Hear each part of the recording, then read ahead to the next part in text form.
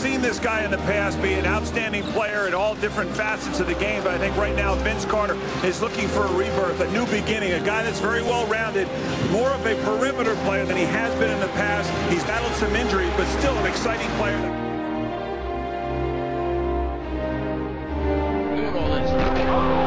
Hopefully you'll get to see a lot of different dunks and, and a lot of exciting plays out here. I mean, we have the guys to do it. I'm in a good situation. You know, a great team, great guys, and you know, hopefully we can go out here and get a win. Injury troubles the past couple of years for Vince Carter. I love this game. He's trying to prove to everybody around this NBA that he has it and still has it. Let's go. Chill. Chill. Chill.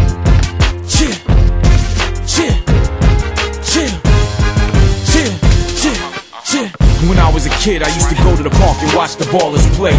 Wishing that would be me one day. I was intrigued by their love of the game.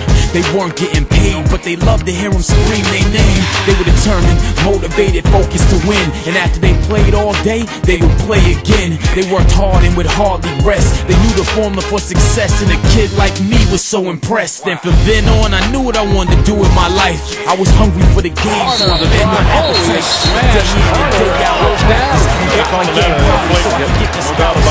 College and make MVP. And have all the scouts come see me with the rest of the world on national TV. This is my chance, I gotta give it all I got. Give Remember one second on the clock, I hit the winning shot. From the bottom to the top, I can't be stopped. I give it all I got, now I'm worth a whole lot. I live for the pressure, I work for the fame and put it all on the line. Each and every game, from the bottom to the top, I can't be stopped.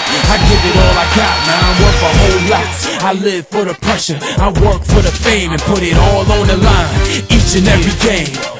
Yeah, I made it. No more hand-me-down clothes. No more socks with holes that expose my toes. No more minimum wage. Matter of fact, you could go and quit your job now, mom. We paid. I'm gonna buy you a house with a matching car.